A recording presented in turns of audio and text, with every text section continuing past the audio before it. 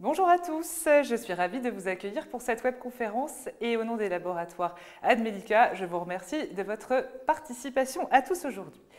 Le sujet de la, prise en charge optimale de la drépanocytose pédiatrique abordé ce jour est assurément au cœur de vos préoccupations quotidiennes. Pour en parler, nous avons le plaisir d'accueillir le professeur Pondaré, qui dirige le centre pédiatrique de référence de la drépanocytose du CHIC. Elle va nous exposer sa pratique étayée des résultats d'études cliniques dans ce domaine.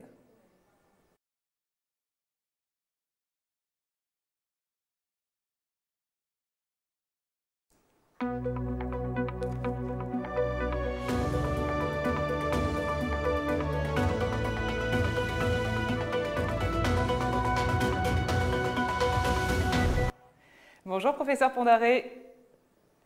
Merci beaucoup d'avoir euh, accepté d'être euh, parmi nous aujourd'hui.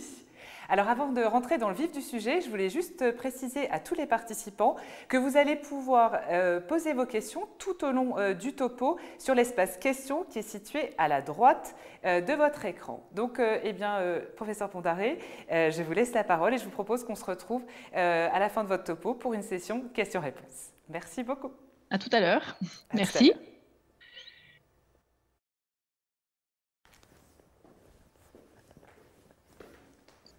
Alors. Euh,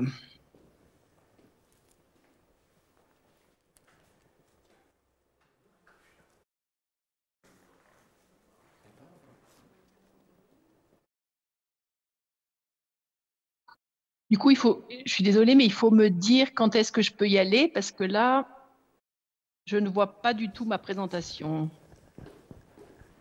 C'est bon, vous pouvez y aller. Alors, je peux y aller? Oui.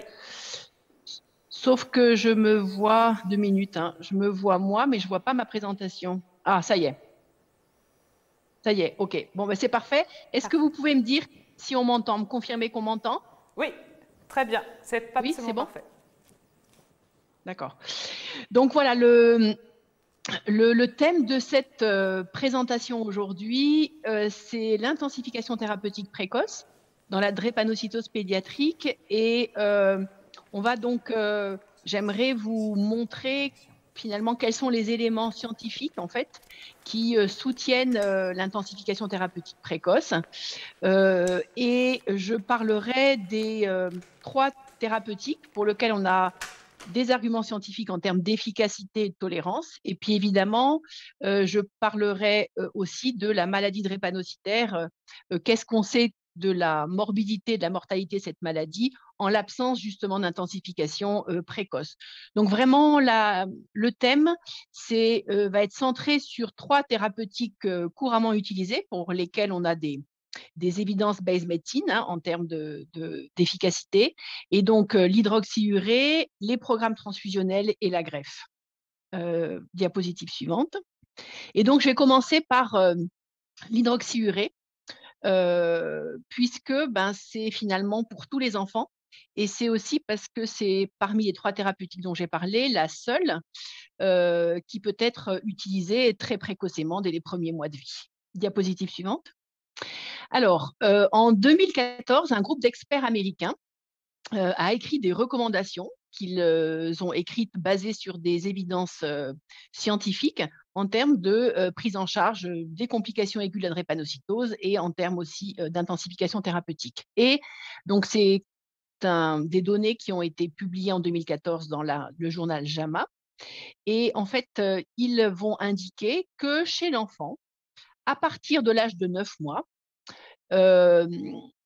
ça, s'adresse hein, aux enfants atteints de drépanocytose, les formes génétiques les plus sévères, SS ou S-bêta 0. Chez ces enfants-là, on peut proposer un traitement par hydroxyurée et c'est quelle que soit la sévérité clinique, c'est-à-dire qu'on le démarre finalement en systématique et en préventif, l'objectif étant de réduire les complications. Diapositive suivante. Alors, on ne voit pas bien, mais OK. Et donc, ces recommandations font suite à la publication du premier essai clinique de phase 3 en pédiatrie, qui est l'essai Baby Hug. Alors, les enfants à l'inclusion étaient âgés entre 9 et 18 mois. Il s'agit d'un essai multicentrique réalisé aux États-Unis et ils vont randomiser l'hydroxycarbamide pour une centaine d'enfants versus placebo pour une autre centaine d'enfants. Là, là aussi, hein, ça s'adresse aux patients atteints des formes SS ou S-bêta 0. dans cet essai thérapeutique, la dose utilisée d'hydroxyurée, vous verrez que c'est important, est une dose fixe de 20 mg par kilo et par jour. Et puis, dans cet essai, le traitement est donné pendant deux ans. Et en fait, vous voyez, j'espère que vous voyez, que cette étude montre que sous hydroxycarbamide, il y a une réduction des événements douloureux et cette réduction, elle est significative. Il y a une réduction des événements de type syndrome pied-main, les dactylites. Il y a une réduction des événements de type syndrome thoracique aigu et il y a même une réduction des hospitalisations. Diapositive suivante. Alors, en plus de ces paramètres-là cliniques, ils ont évalué des paramètres, d'autres paramètres.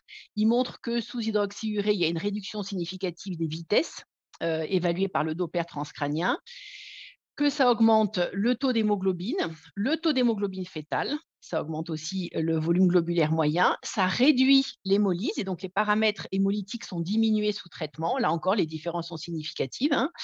Et puis, c'est un médicament qui est un myélosuppresseur, donc ça réduit les polynucléaires neutrophiles et les plaquettes. Après, cette étude avait un autre objectif principal qui n'était pas les complications aiguës. L'objectif, l'idée, c'était est-ce que de démarrer précocement l'hydroxyurée va permettre d'éviter l'atteinte d'organes qui est, la plus précoce hein, chez l'enfant, c'est l'atteinte splénique de la fonction spénique et puis aussi l'atteinte rénale avec hyperfiltration glomérulaire. Et en fait, quand on regarde les objectifs principaux, finalement, ils n'ont pas été atteints. C'est-à-dire que l'introduction précoce d'hydroxyurée à cette dose-là ne permet pas de protéger la fonction spénique, elle était évaluée par scintigraphie, ou de réduire finalement l'hyperfiltration glomérulaire. Alors, évidemment, ces données euh, sont à interpréter et elles ne sont valables pour, que pour la posologie utilisée. On verra que euh, la posologie peut aussi modifier les choses. Hein. et donc la posologie ici était fixe de 20 mg par kilo et par jour. Euh, le l'essai a bien sûr évalué la tolérance et l'efficacité biologique aussi, avec une très bonne tolérance. Et puis, je dirais un regret, c'est qu'il n'y a pas eu d'étude pharmacocinétique dans cette étude-là. Diapositive suivante. Alors, juste pour vous dire quelles sont, en ce qui concerne finalement l'atteinte splénique, donc il y avait des études faites par scintigraphie qui n'ont pas montré de protection, en tout cas sous hydroxyurée. et en ce qui concerne les événements cliniques qui nous intéressent, nous, ben, finalement, il n'y a pas de différence significative pour les enfants qui vont présenter une splénomégalie sous d'hydroxyurée versus placebo. Et puis, pas de différence non plus en ce qui concerne les événements de type séquestration spénique aiguë. Encore une fois, avec 20 mg par kilo et par jour. Diapositive suivante. alors, quand on parle d'intensification thérapeutique, je vais vous parler des trois thérapeutiques qui sont l'hydroxycarbamide, programme transfusionnel et les greffes. Comment je vois les choses? Ben, L'hydroxycarbamide, comme les programmes transfusionnels, on verra les données scientifiques, ce sont des atténuateurs de la, maladie drépanocytaire, c'est-à-dire qu'ils vont ralentir la progression de la maladie. La grève de cellules souches hématopoïétiques, elle, elle va stopper euh, les symptômes et la progression de la maladie. Diapositive suivante. Où on en est des indications consensuelles euh, en France hein, et actuelles. Eh bien, l'hydroxycarbamide, euh, l'indication, c'est la prévention de la récurrence des CBO et des STA, ça l'AMM pour ça, au-delà de deux ans. Et puis, c'est utilisé assez couramment dans une autre indication qui est l'anémie euh, chronique profonde, en dessous de 7 grammes par décilitre, et c'est encore hors AMM. L'indication des programmes transfusionnels, ben, globalement, c'est beaucoup les complications cérébrales de la maladie et les vitesses cérébrales accélérées.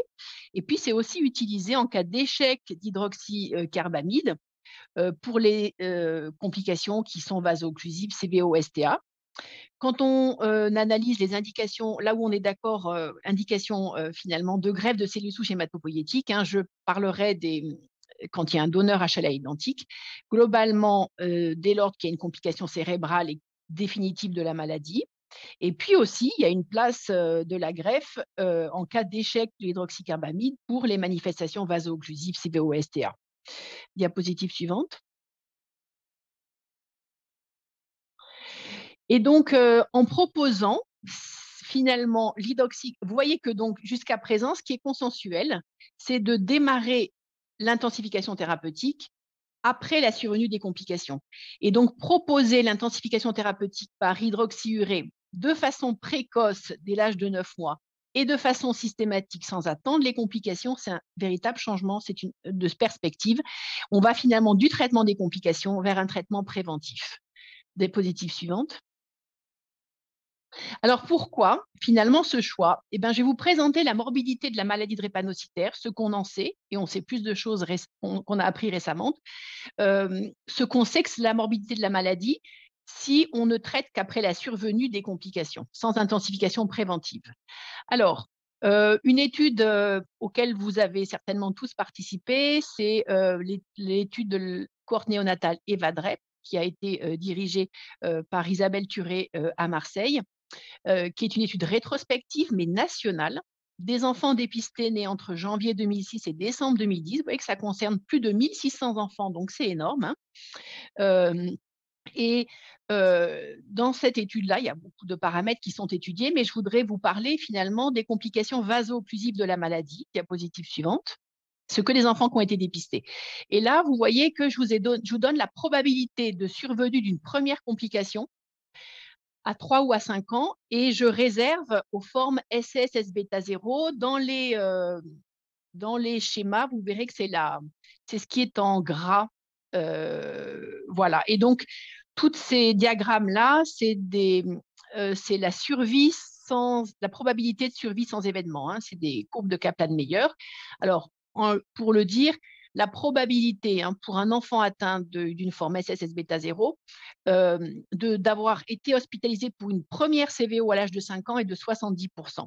La probabilité d'avoir euh, présenté un syndrome thoracique aigu à 5 ans est de 40%, et la probabilité d'avoir présenté une séquestration spénique aiguë à 5 ans est de 22%.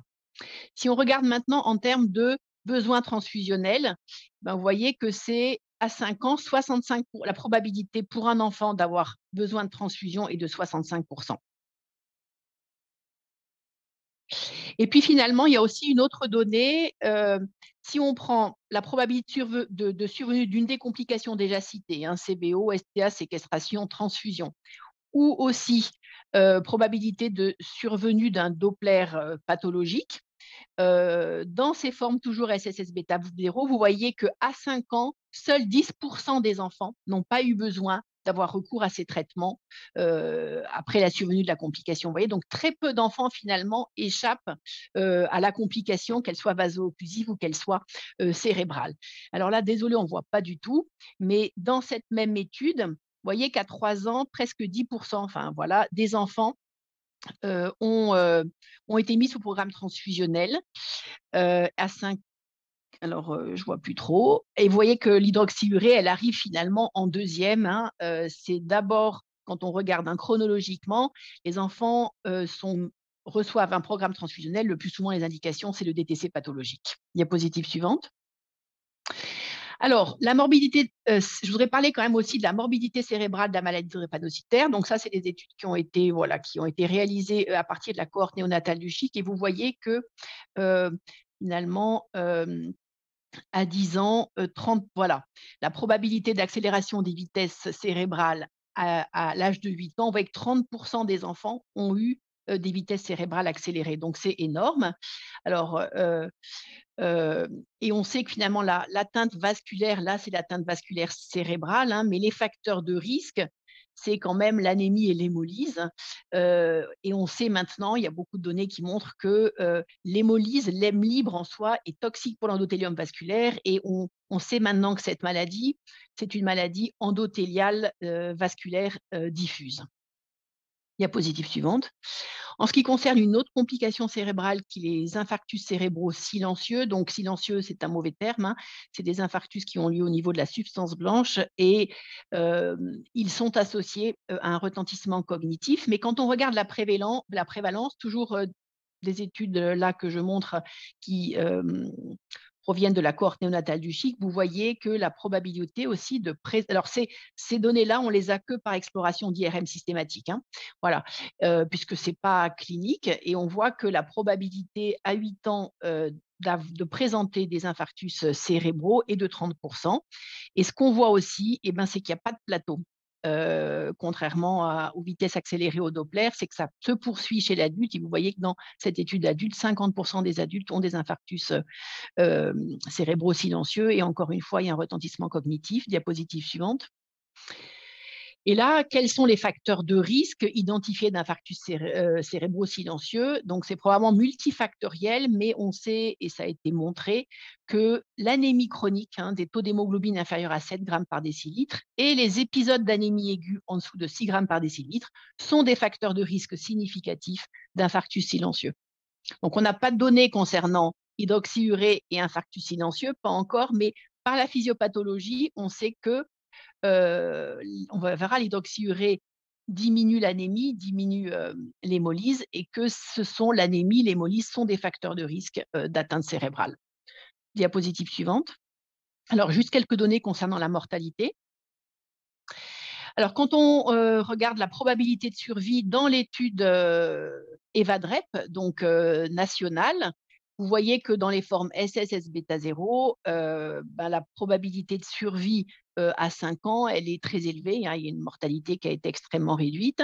Ça, c'est des données à l'échelle nationale. Et puis, on a déjà pas mal de données, on va dire, de cohortes régionales. Et on sait, hein, avec le dépistage néonatal, la prise en charge telle qu'on l'a faite jusque-là, la probabilité de survie à 18 ans, globalement, elle dépasse 97%. Diapositive suivante. Alors, euh, après l'enfance, qu'en est-il de la mortalité? Donc là, je vais vous citer des données qui proviennent de l'Institut national de veille sanitaire, qui ont été publiées, il me semble, en 2015. Euh, et là, vous voyez, c'est des études, euh, des, certificats de décès, donc c'est à peu près une centaine de patients. Alors, en fonction des différentes périodes d'études, et vous pouvez, on, on voit qu'il y a eu une nette augmentation de l'âge médian au décès, puisque dans les années 80, c'était 18 ans l'âge médian au décès, et que dans les années 2010, ben, on est passé à 36 ans. Donc ça a doublé, c'est un vrai progrès.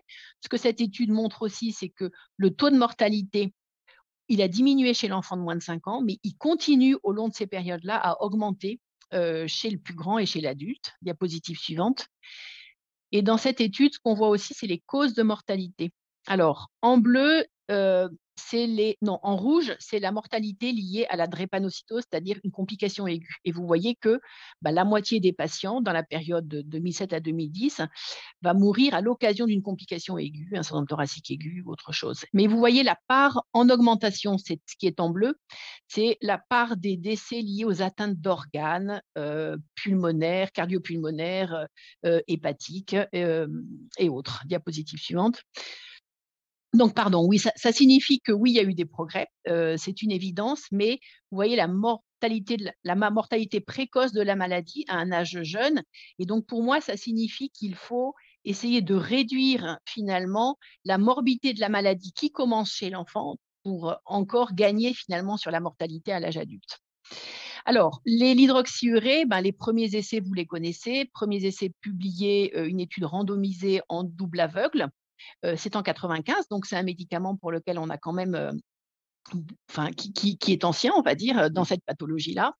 Donc, cet essai, j'y reviens juste, hein, c'est un essai multicentrique réalisé aux États-Unis, et là encore, une phase 3 en double aveugle, avec une randomisation hydroxyurée versus placebo. Ça concerne 300 patients.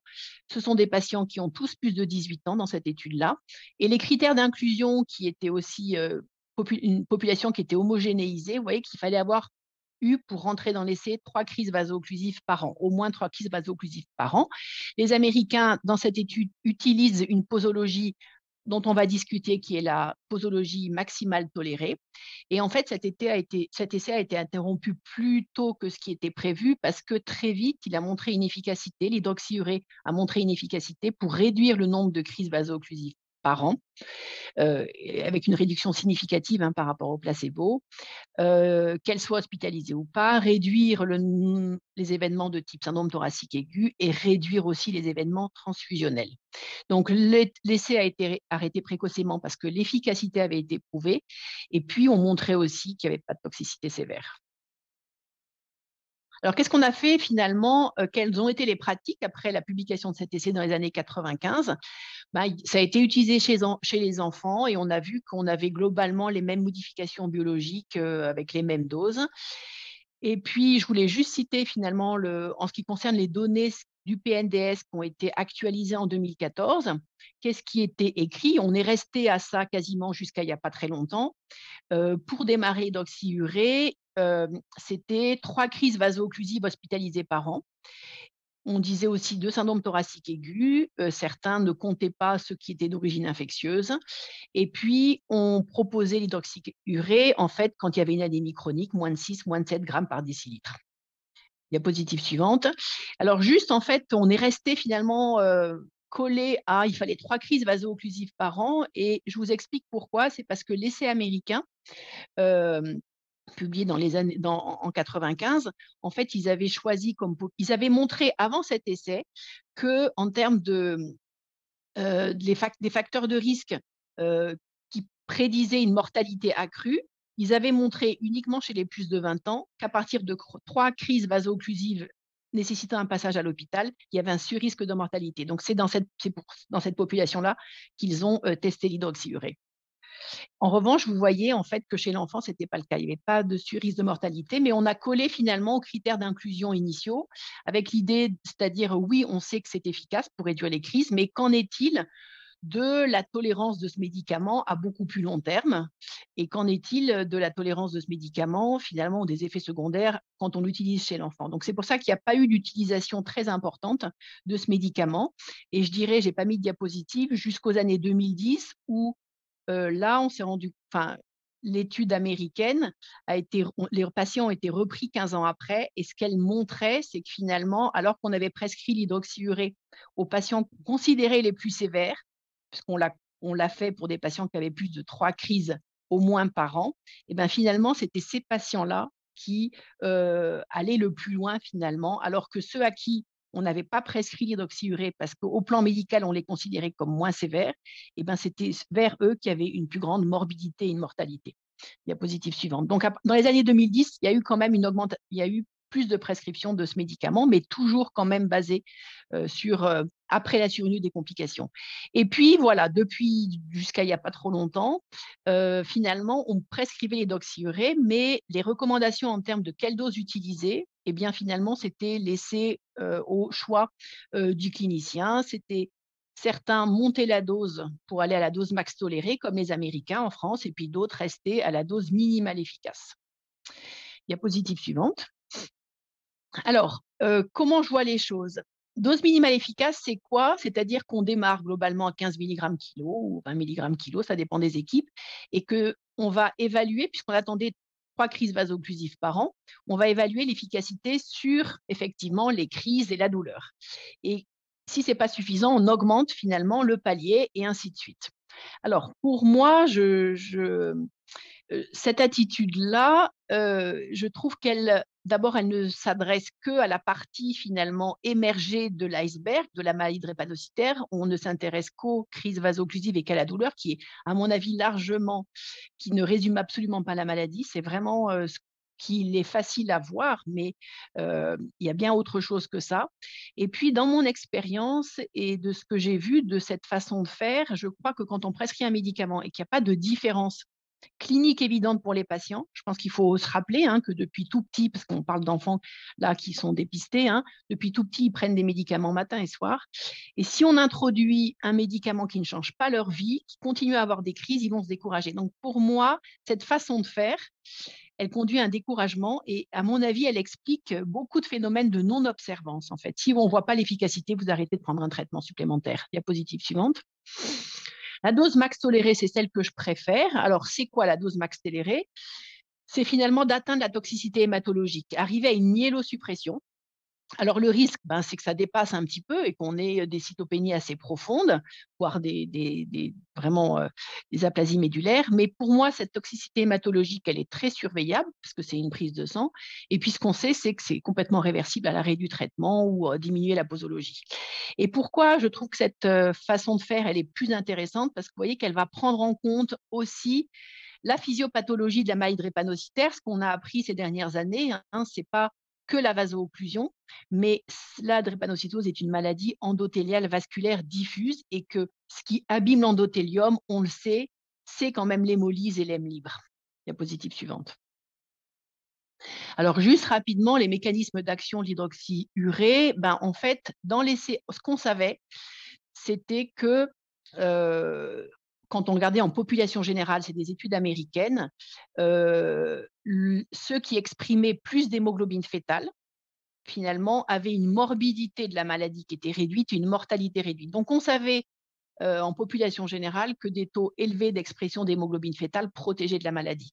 Et on savait que l'hydroxyurée augmentait la production d'hémoglobine fétale. Donc c'est comme ça que ça a été utilisé. Hein. Et effectivement, euh, l'hémoglobine fétale ne polymérise pas avec l'hémoglobine S et donc ça réduit la falciformation. Mais on sait maintenant que ben, l'hydroxyurée agit par de plein d'autres manières finalement pour diminuer euh, la gravité de la maladie. On sait que un taux élevé de globules blancs est prédictif de la sévérité de la maladie drépanocytaire. L'hydroxyurée va si on atteint une dose de myélosuppression, ça va diminuer l'hyperleucocytose et moduler les processus inflammatoires. On sait aussi que l'altération du métabolisme du NO est responsable influe sur la survenue de syndrome thoracique aigu. Or, l'hydroxyurée va augmenter la synthèse de NO, qui est un vasodilatateur. Et puis, on sait que l'hydroxyurée va diminuer, réduire l'hémolyse. Et on sait maintenant vraiment aussi que l'hémolyse en soi a des conséquences hein, sur la maladie drépanocytaire. Diapositive suivante. Alors, il y a des, Américains sont aussi, finalement, il y avait ce débat, dose max tolérée, dose minimale efficace, hein, je parle de l'enfant. Et puis, je, citerai juste, en fait, les Américains ont mis en place des études, ce sont les études Hustle, Hustle sont des études observationnelles prospectives. ils vont traiter les enfants et ils vont aller jusqu'à la dose max tolérée et ils vont évaluer les effets cliniques à long terme de l'hydroxyurée à la dose max tolérée. donc, il y a pas mal d'études qui sont faites sur finalement les atteintes d'organes, est-ce que ça protège, voilà. Mais il y a le rein, il y a la rate, on n'a pas le temps, mais en fait, c'était intéressant. Il y en a qui se sont dit, est-ce qu'il y aurait un paramètre biologique à atteindre, ciblé pour une meilleure efficacité clinique? Parce qu'effectivement, ben, on n'a pas, même avec une posologie élevée, il n'y a pas forcément la même, au plan biologique, on n'a pas forcément les mêmes conséquences. Donc là, c'était est-ce qu'il faut atteindre, quel cible faudrait atteindre au plan biologique pour que ça ait des conséquences en termes de diminution finalement des, hospitalisations et des crises? Et en fait, ils ont montré que des taux d'hémoglobine, si on ciblait juste l'hémoglobine fétale, qu'il y avait une différence moins de 20% et plus de 20%. Quand vous atteignez plus de 20% d'hémoglobine fétale, ben vous voyez que ça réduit le nombre d'hospitalisations, quelle que soit la raison, et ça réduit le nombre d'hospitalisations pour crise vaso-occlusive ou syndrome thoracique aigu. Et ils ont même montré finalement que le fait de baisser, faire diminuer les globules blancs réduisait aussi, était important si on voulait avoir un impact clinique, diminuer les hospitalisations pour crise vaso-occlusive. Diapositive suivante. Et puis, on en arrive à, bah, c'est tout récent, enfin, ça fait à peu près, enfin, c'était en 2020, le premier essai randomisé, l'étude No-ARM MTD, euh, un essai qui a été réalisé euh, en Afrique, en Ouganda, qui fait suite à un premier essai qui était l'étude No-ARM, l'utilisation de l'hydroxyurée à 20 mg par kilo et par jour. Là, c'était euh, multicentrique en Afrique. Donc là, c'est des patients qui avaient déjà, qui avaient été inclus dans le premier essai, qui étaient à 20 mg kg par jour d'hydroxyurée. Et il va y avoir une randomisation. Soit il reste à 20 mg par kilo par jour, soit le traitement est augmenté jusqu'à la dose max tolérée. Et c'est une étude qui est réalisée, c'est une étude de phase 3 réalisée en double aveugle. Les résultats ont été publiés donc dans New England en 2020 et en fait, en termes d'objectifs principal, c'était combien vont atteindre un taux d'hémoglobine au-delà de 9 en fonction des différentes façons de faire, dose minimale, enfin 20 mg ou dose max tolérée, et combien vont attendre un taux d'hémoglobine fétale au-delà de 20%. Et puis, il y avait plein euh, d'événements euh, secondaires qui étaient analysés. Euh, alors, ce que cette étude montre, c'est que l'efficacité biologique déjà, augmentation de l'hémoglobine fétale, atteindre 9, de, non, augmentation de l'hémoglobine fétale au-delà de, de, de 20, augmenter le taux d'hémoglobine supérieur à 9, et ben c'est très dose dépendant et qu'on l'atteint plus facilement quand on est en dose max tolérée versus dose fixe de 20 mg kg. Et il montre qu'il n'y a pas de toxicité hématologique accrue avec la MTD. Donc, je vous montre juste la diapositive suivante. vous voyez qu'ici, il y a la première colonne, c'est la dose fixe, 20 mg par kilo et par jour, et puis ceux qui ont été augmentés à la dose max tolérée. Et globalement, hein, en moyenne, ils étaient à 30 mg kilo au jour, ces patients-là. Et vous voyez qu'il n'y a pas plus d'infections de palus dans ceux qui ont la dose. C'était vraiment une des questions qui était posée. Et vous voyez qu'en termes de complications cliniques, eh bien en dose max tolérée, vous réduisez de façon très significative les épisodes vaso-occlusifs, les épisodes de syndrome thoracique aigu. Vous réduisez les transfusions et les hospitalisations. Alors, ce que au milieu des deux, vous voyez en termes de toujours en fait, qu'en est-il de la séquestration spénique aiguë? Ben, Il n'y a pas de différence et puis, il montre aussi que finalement, la dose max tolérée, euh, il n'y a pas euh, d'événements finalement hématologiques toxiques qui vont être limitants en termes d'anémie, de réticulopénie, de neutropénie et de thrombopénie. Diapositive suivante. Voilà, donc euh, voilà, je crois que maintenant on a des données en fait qui montrent qu'on est plus efficace au plan clinique et biologique en traitant plus fort et qu'on n'est pas plus toxique, en tout cas au plan hématologique. Donc, mes pratiques, alors, toujours commencer par un bilan pré-thérapeutique, parce que euh, on va suivre non seulement la clinique, mais aussi la biologie. Et je pense que c'est intéressant de, de, voir ce qu'on fait. Donc, tout le temps, avoir un bilan pré-thérapeutique. Pré-thérapeutique, ça veut dire qu'il est fait en dehors d'une complication aiguë et à distance d'une transfusion hein, pour qu'on ait des paramètres qui soient justes.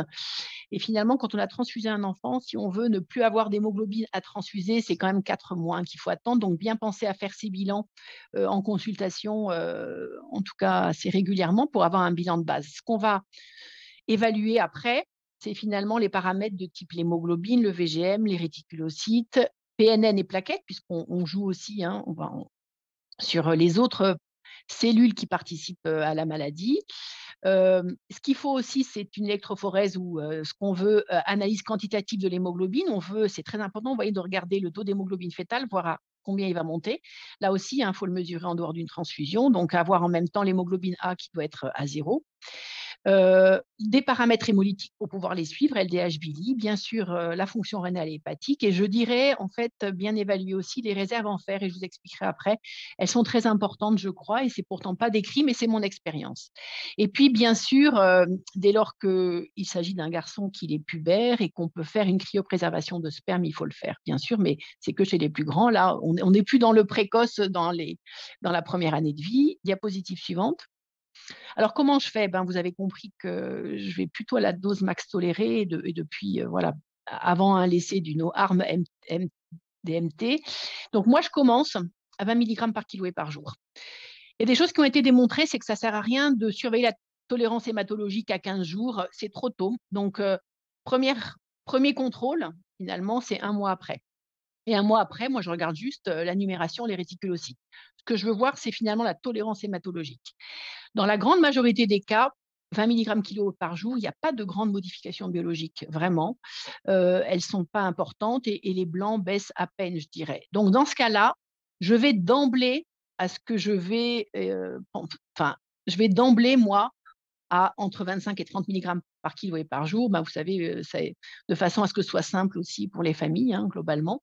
Mais je vise, je ne vais pas de palier intermédiaire, 25. D'emblée, je monte autour de 30. et, donc, et, avec cette dose-là, finalement, je vais regarder où ils en sont au plan hématologique et je vais m'adapter de façon à rester euh, à globalement, ben, il faut faire baisser les, globules blancs, je pense que c'est important. Et moi, ma définition de tolérance, hein, on a vu les Américains au départ, ils disaient 2 gigas par litre, puis un 5, et puis globalement autour de 1 giga par litre, quand c'est souvent transitoire, ça ne me dérange pas de garder cette dose autour, entre 1 et 1,5 giga par litre. Et puis, donc, du coup, ça veut dire qu'il faut quand même faire une surveillance biologique hein, chez ces patients. Et je dirais que une fois que je suis à cette dose-là, ben, je vais faire un bilan biologique en fonction si c'est un petit ou un plus grand, 4 à 6 mois. Et je vais regarder bien évidemment les paramètres hématologiques, les paramètres hémolytiques, l'effet aussi sur l'hémoglobine fétale. Et puis, chaque fois, à chaque bilan, finalement, j'évalue les réserves en fer. Alors, le fait de maintenir un enfant toujours au niveau des doses autour de 30, plus ou moins, on va dire, ça permet aussi, comme il y a des petits-enfants, quand ils grandissent assez facilement, on se retrouve finalement, à aucun moment on se retrouve à des posologies, on va dire, basses quand ils augmentent leur poids. Hein. Donc, bien penser à augmenter la posologie. Une fois que vous avez votre dose, vous augmentez juste au prorata de la prise pondérale. Diapositive suivante. Alors, j'ai juste mis quelques exemples, euh, mais alors on ne voit pas trop. Vous voyez, ça, c'est un enfant qui a été traité précocement. Merci. Donc, si vous regardez le taux d'hémoglobine avant, l'introduction de l'hydroxyurée, ben, c'est 7,6. Et puis après, c'est un bilan annuel un an et deux ans après. Et vous voyez que la dose, quand je dis entre 25 et 30, hein, vous voyez que lui, ça correspond à 27 mg par kilo et par jour.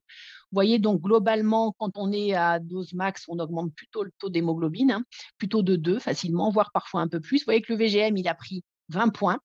Dose max, on est plutôt à 20 points. Et vous voyez aussi que, par exemple, si on reprend euh, les PNN, bon, 6 euh, 000 au début, là, c'est 3 000.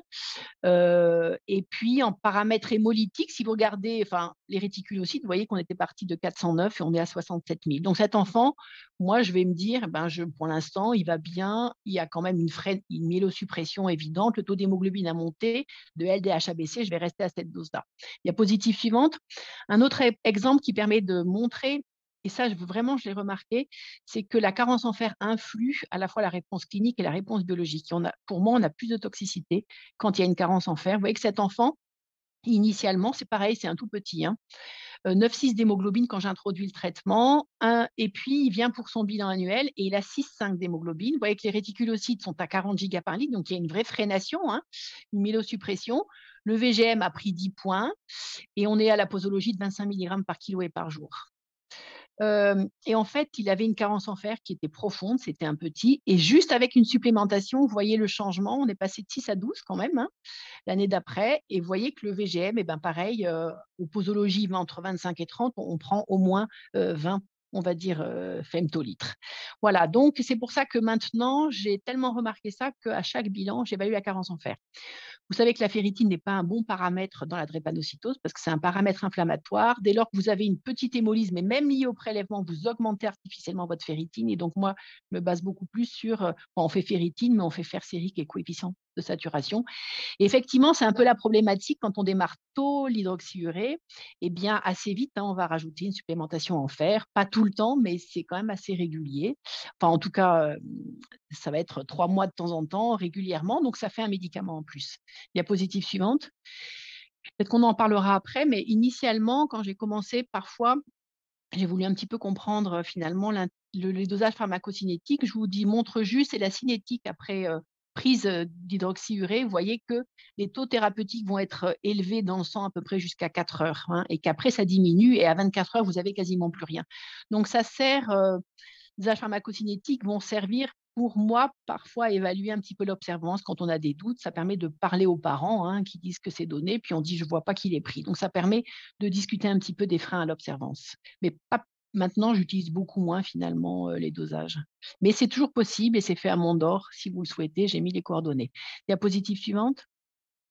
Voilà, alors quels sont les freins finalement l'utilisation d'hydroxycarbamide précoce? Eh bien, c'est, on a vu en termes d'efficacité, il y a plein de données. Hein. et, donc, et on voit que la maladie, c'est une maladie grave, je vous l'ai montré. Et donc, il y a les freins en disant finalement, qu'est-ce qu'on risque après 10, 20, 30, 40 ans d'utilisation d'hydroxycarbamide, même si les adultes ont montré qu'après 15 ans d'utilisation, on allait mieux quand on avait été mis sous hydroxycarbamide que quand on n'avait pas été mis, mais là, on parle, c'était chez des adultes, là, on parle de le démarrer chez des tout petits et de le laisser ben, des années, hein, puisqu'on le voit comme un atténuateur de la maladie, donc ça fera partie du traitement de fond. Donc, ce dont on voilà, qu'est-ce qui doit être évalué, c'est le risque de leucémie secondaire et de myélodysplasie. Je vous ai mis juste un article qui reprend quelques cas, voilà, les Américains n'avaient pas remarqué d'événements anormaux hein, chez les patients qui prenaient l'hydroxyurée. Diapositive suivante mais c'est une question. Et puis, l'altération de la spermatogénèse sous-jassue est un frein hein, pour beaucoup de praticiens. alors, c'est des choses qui ont été montrées ben, par des équipes françaises où elles ont évalué finalement la qualité du sperme. Et là, ce que je vous ai montré, c'est le nombre de spermatozoïdes hein, globalement chez des adultes déjà pubères avant et six mois après la mise sous hydroxyurée. Et vous voyez que le nombre de spermatozoïdes, globalement, hein, il diminue. voilà, donc ça, c'est des choses qui ont été démontrées. C'est des cinquantaines de patients, mais c'est des données qui sont solides.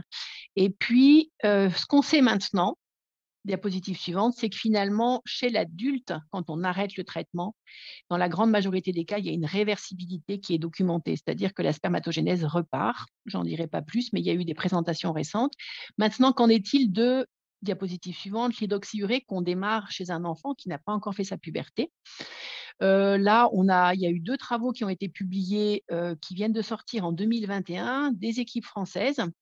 Le premier, c'est euh, l'analyse du pool de spermatogonie. Donc là, c'est chez des, garçons pour lesquels il y a eu des biopsies testiculaires qui ont été réalisées en pré-greffe. Et donc, il y avait des garçons qui avaient été exposés à l'hydroxyurée avant la puberté ou au moment, et puis des garçons qui n'avaient jamais été exposés à l'hydroxyurée. Et cet article montre qu'il y a une altération du pool de spermatogonie, mais il est présent même sans hydroxyurée. Et donc, on pense que la maladie en soi, mais ça, on le savait aussi, hein, c'est que la maladie en soi, elle altère elle-même la spermatogénèse. Et dans cette étude-là, l'hydroxyurée n'altère pas plus que la maladie. Et puis l'autre étude, c'est une analyse du spermogramme chez des enfants qui ont été reçus d'oxyurée, ou pas d'ailleurs. Hein, et c'est une analyse du spermogramme une fois qu'hydroxyurée a été arrêté. et là, encore une fois, il n'y a pas de différence que l'enfant ait reçu d'oxyurée dans la pendant l'enfance ou pas. Néanmoins, ces études-là ont été faites chez des jeunes enfants. Ce ne sont pas encore des enfants pour lesquels on a démarré l'hydroxyurée à 9 mois, comme je le propose. Diapositive suivante. Mais néanmoins, vous voyez bien que pour l'instant, on n'a pas de signal en fait qui fasse dire on voilà, il faut s'arrêter. En fait, c'est des choses dont on parle aux parents, hein, des données scientifiques qu'on a concernant la fertilité, mais pour moi, ça ne doit pas être un frein à l'utilisation de ce médicament.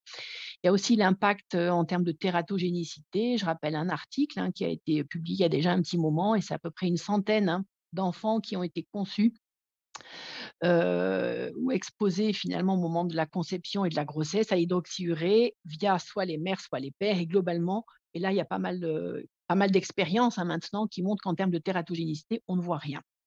Voilà, diapositive suivante. Et puis donc, ces questions sont importantes, bien sûr, mais on ne pourra y répondre que, en, suivant les patients avec ce traitement-là. On ne peut pas y répondre avant qu'ils aient été exposés. Il n'y a pas d'autre solution. Et, donc, voilà, je rappelle que finalement, que l'étude Escort HU d'extension hein, que vous connaissez, l'objectif est maintenant d'évaluer justement ces événements d'intérêt rares, la survenue de tumeurs malignes, de myélodysplasie, et puis tout ce qui est trouble de la fertilité, de la voilà, puberté et des grossesses. Et donc, on aura des éléments grâce à cette étude, qui est une étude observationnelle, mais qui est multicentrique hein, sur beaucoup de patients. Diapositive suivante. Alors, je vais juste vous présenter qu'est-ce qu'on a comme données concernant les programmes transfusionnels en termes d'efficacité base médecine. Alors, il y a différentes façons de les faire, les programmes transfusionnels, mais l'idée, c'est finalement d'abaisser le taux d'hémoglobine S pathologique, mais ça peut être parfois obtenu juste avec des transfusions simples, et puis ça peut être avec des échanges manuels ou érythraphérèse. Je ne détaille pas dessus, mais qu'est-ce qu'on a en termes de données scientifiques? Ben, Il y a deux études. En fait, il y a l'étude STOP que vous connaissez. L'étude STOP, donc, ce sont des études de phase 3 euh, réalisées aux États-Unis, multicentriques, chez les enfants. Et la STOP study, c'était des patients qui avaient des, enfants qui avaient des vitesses cérébrales accélérées au Doppler. Il y avait une randomisation standard care versus transfusion, programme transfusionnel. Et le programme transfusionnel était réalisé de façon à baisser le taux d'hémoglobine S en dessous de 30 OK? Et donc, l'objectif principal, évidemment, de l'étude, c'était d'évaluer l'évolution vers l'AVC, mais ils ont regardé en objectif secondaire d'autres événements. Et vous voyez que dans cette étude-là, il montre que sous programme transfusionnel, encore une fois tel qu'il a été fait, c'est-à-dire moins de 30% d'hémoglobine S, ben vous réduisez la survenue de syndrome thoracique aigu et vous réduisez la survenue d'événements vaso-occlusifs. Ensuite, une étude un petit peu plus tard, diapositive suivante. Là, c'est euh, un petit peu, c'est globalement la même étude, sauf que là, les patients étaient inclus sur l'existence en fait d'infarctus cérébraux silencieux.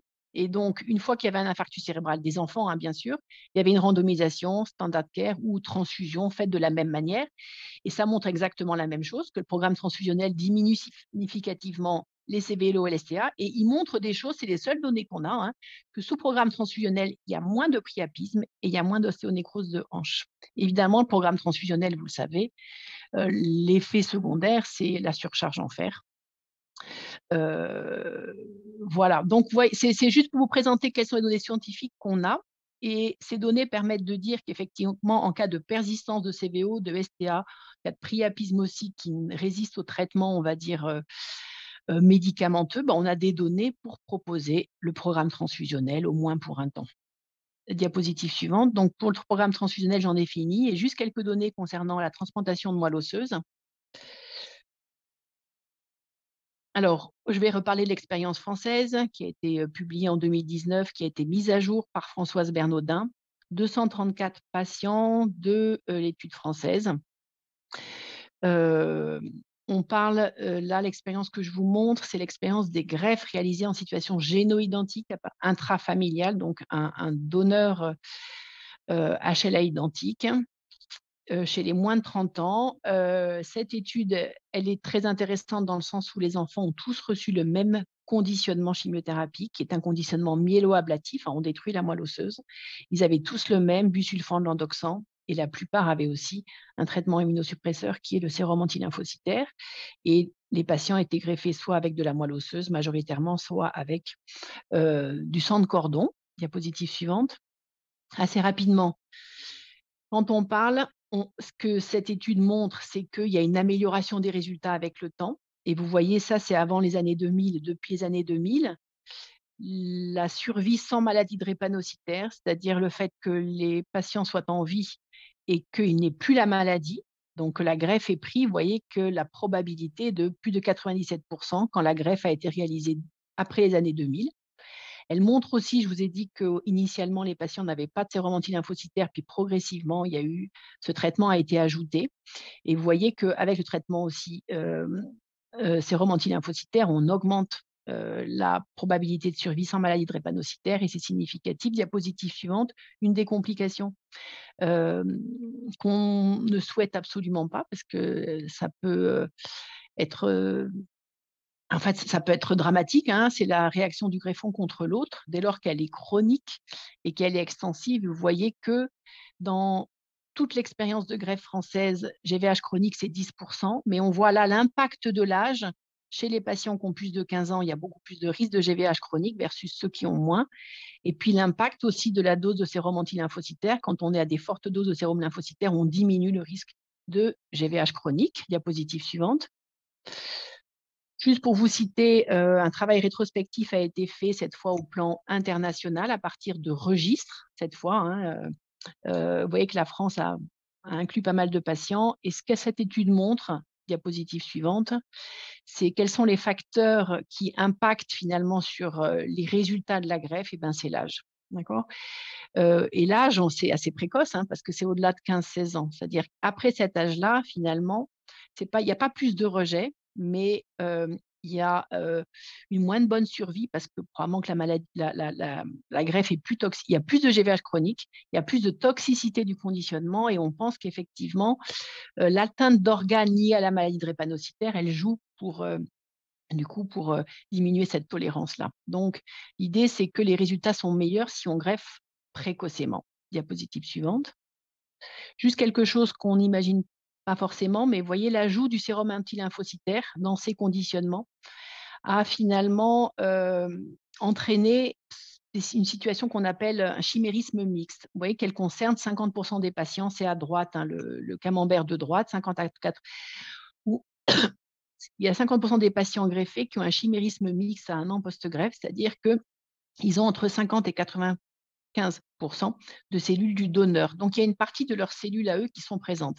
Mais dans cette population-là, malgré ce chimérisme mixte, en fait, quand on regarde les globules rouges, puisque c'est ceux qui intéressent et qui sont malades, eh ben, il reste 100% ceux du euh, donneur.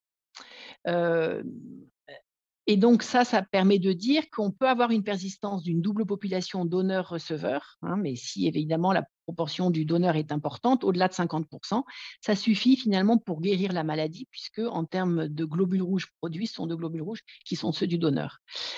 Diapositive suivante. Et donc pour résumer, je dirais actuellement les recommandations des greffes. Si c'est des enfants jeunes, moins de 15 ans, euh, et qui sont greffés avec du sérum antilymphocytaire tel que la dose qui est recommandée actuellement, ben, si on reprend tous ces patients qui ont eu ça et qui ont été greffés à partir des années 2000, les données actualisées, hein, qu'est-ce qu'on peut espérer d'une greffe proposée avec ce traitement Et actuellement, vous voyez que l'incidence cumulée de rejet à 5 ans, 1,5%, cumulée de mortalité liée à la greffe à 5 ans, moins de 1%, avec probabilité de survie sans maladie drépanocytaire de 97%. La GVH, puisque c'est aussi important à connaître, vous voyez que la GVH chronique à 5 ans, 3,7%. Elles ne sont pas toutes extensives, hein, mais c'est quand même une complication embêtante, la GVH chronique. Et puis, quand on ajoute finalement, certains patients vont avoir un chimérisme mixte qui est un peu insuffisant. C'est-à-dire que là, la proportion de cellules du donneur, elle est en dessous de 50%. Et c'est ces situations-là où on peut observer une hémolyse, c'est-à-dire que les globules rouges ne sont pas uniquement ceux du donneur, on va dire. Donc, si on prend tout ça, la survie sans GVH chronique, sans chimérisme mixte, euh, finalement, on peut dire que euh, la probabilité d'aller bien euh, et d'être guéri de la maladie, ou en tout cas d'arrêter la progression de la maladie, elle est de 90% à 5 ans. Diapositive suivante. Voilà, et donc finalement, comment, comment, comment se positionner par rapport à ces trois traitements? Bien, bien sûr, il y a les données d'efficacité, mais il y a aussi la tolérance qui doit être prise en compte et, euh, la toxicité de chaque médicament. Donc, on a vu les questions qui restent hein, concernant les doxycarbamides. Euh, vous voyez que le risque tératogène et la fertilité, ben, on va vers probablement euh, des choses qui sont en tout cas réversibles. les programmes transfusionnels, ben, la grande limite, c'est parfois la disponibilité en sang. Les situations d'impasse transfusionnelle, que ce soit par groupe rare, alloémination ou du fait d'accidents hémolytiques les, les, effets secondaires, la surcharge en fer, bien sûr, on a des traitements pour ça, euh, mais c'est tout l'enjeu de la compliance à long terme. Et puis la greffe génoïdentique, euh, c'est quoi finalement? Les difficultés ben, C'est qu'on n'a pas tout le temps un donneur HLA identique intrafamilial. Et puis je dirais dans la grande morbidité de cette, thérapeutique, il y a le risque de GVH, vous voyez qu'il il est, beaucoup, il, est faible, hein, mais, il existe. Et puis la morbidité la plus courante, c'est finalement euh, les problèmes de fertilité. Euh, qui, sont, qui sont importants, même s'il y a des euh, thérapeutiques hein, de préservation de la fertilité. Diapositive suivante. Et donc, j'en arrive à finalement, qu'est-ce que, comment je vois les choses? Ben, Je pense que, vu la gravité de la maladie, vu sa morbidité, il y a, on a vu les événements dont j'ai parlé, mais il y a toute la, finalement les conséquences psychologiques, sociales des crises vaso-occlusives, des hospitalisations précoces. Hein. Pour moi, elles sont considérables au plan, au plan psychologique chez les enfants et, chez les parents. Donc, euh, je propose l'hydroxycarbamide à toutes les familles, en fait, hein les formes SSS bêta 0, mais ça, vous l'avez compris. Et je la propose finalement au même titre que les autres intensifications thérapeutiques. C'est-à-dire que je vais donner aux parents les éléments scientifiques, je fais en sorte qu'ils bah, puissent les, comprendre et qu'ils puissent eux-mêmes après euh, finalement s'en servir, mais je donne les informations sur tout ça. Ce temps d'information, il est essentiel, c'est pas en une fois, c'est plusieurs fois, mais assez rapidement, on parle de voilà, quelles sont les thérapeutiques qu'on connaît, qu'on peut utiliser, pourquoi, pour qui, on le discute avec eux. Il est essentiel parce que de toute façon, c'est les parents qui vont donner le traitement hein, en ce qui concerne l'hydroxyurée. Donc, s'il y a des réticences, ça ne sert à rien du tout. J'explique bien aussi que si on le donne, on le donne aux posologiques correctes, c'est-à-dire s'ils ne sont pas convaincus, vraiment, ça ne sert à rien. Donc, il faut attendre. Et pour certains patients, pour certaines familles, ben, certains auront besoin de voir la première complication. Beaucoup de familles, finalement, euh, choisissent hein, l'intensification précoce et systématique, même avant la crise. On, pourra en discuter après. Donc, commencer tôt, ça permet finalement de protéger tous les enfants. En cas d'échec, eh bien, euh, à ce moment-là, on le saura tôt aussi. C'est-à-dire un enfant qui a des crises malgré ça, bah, ça permet d'aller à la greffe beaucoup plus précocement. On a vu qu'aussi il y avait un intérêt à la faire précocement. Euh, voilà. globalement, jusqu'à présent, on arrivait un peu tard finalement. Il y a des enfants qui avaient des, des complications définitives. On ne pouvait plus revenir en arrière. Donc, cette stratégie de finalement démarrer tout beaucoup plus précocement, j'espère, elle permettra d'arriver finalement à la greffe avec des organes préservés. S'il n'y a pas de donneur, bon, on a vu hein, les données qu'on a pour proposer des programmes transfusionnels prolongés. Diapositive suivante. Alors, il y a des situations où vous avez commencé l'hydroxyurée, puis il y a un donneur HLA identique. Et puis, comme on, propose, je parle de ces thérapeutiques, c'est des choses qu'on peut savoir assez tôt finalement dans la vie d'un enfant. Et là, que faut-il choisir entre greffe précoce, si on a un donneur versus hydroxyurée à vie, eh ben, j'estime qu'au plan scientifique, on n'a pas de choses qui permettent de dire que l'un est mieux que l'autre. Et donc, c'est des choses qui doivent être discutées avec les familles, bien entendu. Diapositive suivante. Et puis, je voulais, avant de finir, par dire aussi qu'il y a des alternatives, hein, euh, des nouveaux médicaments. Et récemment, il y a quand même pas mal de choses. Donc, il y a euh, un modificateur allostérique de l'hémoglobine, le Voxelotor, euh, qui lui euh, cible la polymérisation de l'hémoglobine avec une ATU nominative à partir de 12 ans. Euh, l'efficacité qui a été démontrée, c'est sur l'augmentation du taux d'hémoglobine pour l'instant. Il y a le crisantlisumab, qui est un anticorps monoclonal anti-P-sélectine qui lui cible les neutrophiles avec une AMM à partir de 16 ans. Donc vous voyez que là, c'est des médicaments de mécanismes d'action totalement différents. Donc c'est chouette de voir que l'arsenal thérapeutique augmente et qu'on va probablement imaginer des traitements non seulement avec l'hydroxyurée, mais en association avec un autre médicament.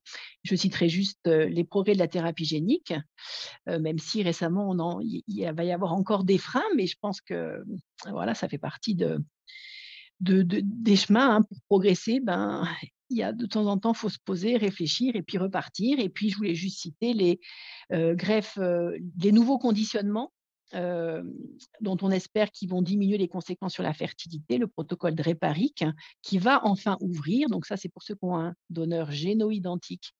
Les, patients doivent avoir plus de 15 ans et on va tester un conditionnement qui est beaucoup moins, qui est un conditionnement réduit. Et puis les greffes haploïdentiques pour ceux qui, malgré tout ce, dont on dispose, restent extrêmement sévères.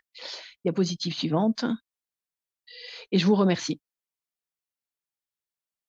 Merci beaucoup, professeur Ponderet, pour euh, la richesse et, la clarté de votre présentation. Je vous entends très, très, très mal. Un nombre de questions qui nous, qui nous sont euh, apparues à l'écran. Alors, j'ai une première question. Si un enfant fait une CVO Il faut vraiment que parliez fort, j'entends rien. le traitement par hydroxyurée?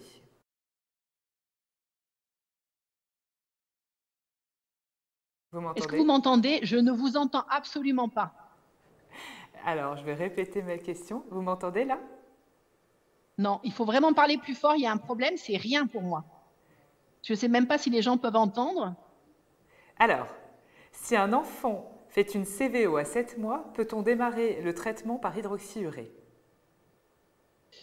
Euh, Oui, à ce moment-là, on n'est plus dans le préventif. Quand on est dans le préventif, je ne démarre pas avant 9 mois, puisque j'estime qu'on a des données scientifiques à partir de 9 mois. Mais dans une situation où il y a déjà des crises, eh ben, la question se pose et ça peut être fait. Très bien, je vous remercie. Je, vous invite, hein, chacun des participants, à continuer à, poser, euh, poser, vos questions euh, dans le même temps. Alors ici, nous avons une deuxième question. Pour un enfant qui a des priapismes, quel traitement peut-on proposer? Alors, il y a des euh, traitements médicamenteux, en fait, déjà. Et puis, on n'a pas de données concernant l'hydroxyurée et le priapisme, même si en tout cas, ça peut être testé, bien sûr, et ça peut aussi être efficace, mais c'est comme tout, quand il y a une complication, on peut utiliser un traitement et évaluer l'efficacité de ce traitement. En cas d'inefficacité, ben, vous voyez qu'il y a des données qui permettent aussi de proposer le programme transfusionnel. Très bien, merci beaucoup. Alors, autre question, quelles sont à votre avis les indications d'un dosage pharmacologique d'hydroxyurée? Euh, Finalement, euh, j'ai essayé de le faire, par exemple. Enfin, je l'ai proposé chez des enfants qui, à 20 mg kilo jour, finalement avaient une euh, myélosuppression assez importante. Et je voulais voir si ça correspondait à un taux élevé. Et en fait, pas forcément. Euh, donc, je l'ai fait pour ça, mais par intérêt. Et puis, je l'ai fait parfois dans des situations où vraiment on n'arrive pas à communiquer. Les parents disent qu'ils le donnent, chez des plus grands hein, d'ailleurs, parce que euh, qu'ils le donnent. Et puis finalement, on voit aucune efficacité. Euh, donc euh, maintenant, je vois, j'ai appris à regarder la biologie quand ils le prennent ou pas.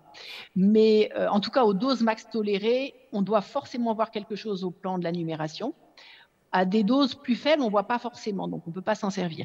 Mais donc du coup, avant, quand j'avais vraiment des doutes, si l'enfant venait et qu'il avait pris son médicament dans les heures hein, avant la consultation, ben, pouvoir faire un dosage, ça permettait aussi d'aborder les choses parfois plus directement avec les patients en disant, ben voilà, je ne vois pas qu'il l'ait pris. Qu'est-ce que, qu'est-ce que vous avez à en dire? Ça permet quand même de discuter des freins, non pas pour culpabiliser, mais les freins, si on ne les comprend pas, si on ne les lève pas, ça ne sert à rien du tout. Ok, très bien. Je vous remercie. Alors, une autre question. Euh, a-t-on une indication de l'hydroxyurée chez les SC et SB+, symptomatiques? Alors, il y a peu de données. Il n'y a pas de données euh, scientifiques, on va dire. Les études qui ont été faites justement en préventif, euh, ce n'était pas cette population-là. Dans la il y a des expériences de pas mal de personnes, quelques patients. Dans la littérature, il y a un article qui reprend presque une centaine hein, de, patients qui ont, été, qui ont été traités, enfants et adultes. On ne peut pas en dire des choses, euh, est-ce que ça marche tout le temps? Il semblerait que l'utilisation, dans ce cadre-là, il faut utiliser des doses plutôt faibles, 15 euh, mg kilo. Et c'est comme tout, je pense que quand on n'a pas de proposition à faire, on peut utiliser un médicament et on évalue ce qu'il fait. Bah, S'il est efficace, c'est très bien. Euh, si finalement on aggrave les choses, on revient en arrière. Moi, j'en ai pas d'expérience. On en discutait il n'y a pas très longtemps avec d'autres. Certains commencent à l'utiliser, ces quelques patients, et, certains voient qu'il y a une diminution des CVO. Parce que dans ces cadres-là, c'est souvent en fait l'indication, c'est des crises vaso-occlusives, hein, des formes SC très symptomatiques. Si on voit qu'on améliore, ben pourquoi pas. Très bien. L'alternative dans les SC, mais c'est un peu chez les plus grands, c'est euh, les programmes de saignée qui sont aussi efficaces. Très bien, merci. Alors, y a-t-il encore en France des opposants à l'hydroxycarbamide précoce ou y a-t-il maintenant un consensus en faveur de l'hydroxycarbamide précoce? Le consensus, je ne pense pas, mais il y a de plus en plus d'expériences et, euh, de médecins qui l'utilisent. Et puis, on est, ben, je pense que c'est en voyant finalement euh, comment ça se passe que on va, on va enfin, voilà, c'est les expériences euh, personnelles qui feront que, euh, que les gens l'utiliseront. Alors, euh, il, y a, il va y avoir une actualisation des recommandations du PNDS. Mhm. Et je ne sais pas sur quoi on va se mettre d'accord. Enfin, en tout cas, il y a des données quand même hein, maintenant scientifiques, donc on, pourra en parler. Après, voilà, c'est toujours évaluer le bénéfice par rapport au risque, et donc on a chacun nos freins. voilà. Merci. Euh, Après, les, voilà. en tout cas en France, non, il n'y a pas encore de consensus sur l'utilisation précoce et systématique. Merci. Euh, greffez-vous euh, les patients asymptomatiques tout petits si donneur HLA intrafamilial? Oui, moi je commence quand même par ça. Parce que les greffes, de toute façon, on ne les fait pas dans l'immédiat. En général, on attend que l'enfant ait, on va dire, 3 ans. donc, je me dis que ça vaut toujours le coup de protéger. et puis, alors, aller à la greffe d'emblée, euh, parce qu'il y a un donneur. Bon, on a quand même besoin. la greffe, euh, voilà, dans certains cas, ça peut être toxique. Hein, il y a des mortalités. Donc, moi, je me dis, il faut quand même qu'on ait des éléments pour le faire. Donc, oui, euh, je, traite par hydroxyurée des enfants où je sais qu'il y a un donneur HLA identique. Et si, je dirais que s'ils vont bien, qu'il n'y a pas de demande la part des familles, moi, je continue. C'est. Hmm. ce qui est important, c'est de, s'il y a des complications, s'il y a une, il y a des choses qui changent, c'est d'aller vite à la greffe. En fait, je pense que l'idée, c'est de vite s'adapter finalement aux événements cliniques et ne pas attendre cette récurrence, ces complications après, qui sont parfois définitives, qu'elles soient hépatiques ou autres. On arrive dans des situations où il y avait un donneur, on greffe, mais c'est déjà trop tard, je dirais. Hein. Donc, l'idée, c'est de réagir vite. Hein. et c'est ce que je dis aux parents, de ne pas laisser un enfant avoir des complications récurrentes sans chercher tout ce qu'on peut au plan thérapeutique. Très bien. Donc, l'intensification précoce, c'est d'essayer de proposer ces trois thérapeutiques plus précocement. Très bien. Alors écoutez, il y a un certain nombre de, questions qui, nous parviennent encore. On va peut-être être obligé de, s'arrêter ici. Euh, en revanche, euh, nous voulions vous donner euh, rendez-vous le 8 avril, puisque le professeur Pondaré sera à nouveau parmi nous pour échanger avec vous sur les autres questions que vous continuez à vous poser et puis vos cas cliniques. donc, nous nous retrouvons euh, le jeudi 8 euh, avril à 12h30. Vous pouvez d'ores et déjà euh, envoyer vos questions et vos cas cliniques à l'adresse mail conférence at admedica.com. Vous allez recevoir un email après cette webconférence avec toutes les indications, donc l'adresse à laquelle vous pouvez envoyer les cas cliniques et euh, les questions euh, qui restent en suspens suite à cette première euh, événement, et puis la date et l'heure, et vous recevrez un lien pour vous connecter dans les prochains jours. Voilà, professeur Bondaré, je voulais vous remercier infiniment. pour, pour cette intervention. Et puis, eh ben, je vous laisse le mot de la fin en vous donnant rendez-vous le 8 avril. Merci. Et ben, écoutez, euh, merci pour l'organisation. Voilà, j'espère que, que, ça va répondre à beaucoup de questions de praticiens. Et, euh, et encore une fois, on peut partager en fait euh, les expériences de chacun au plan un peu plus pratique. Et puis, j'espère aussi que finalement, on aura des données scientifiques en fait qui permettront de soutenir à long terme l'utilisation plus précoce et à dose max tolérée de ce médicament. Voilà, merci et bonne continuation. Très bien, merci. Très belle journée à vous tous. Au revoir.